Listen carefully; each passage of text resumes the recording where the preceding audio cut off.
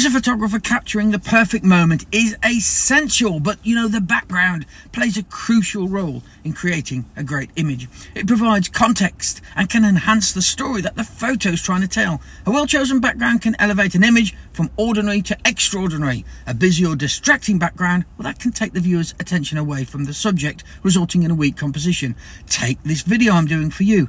I've purposefully sat in the car, and it's distracting, isn't it? This has nothing to do with the video. You can see the car. It's distracting from the image of me. It's not adding anything. It adds no depth or complexity to the photo.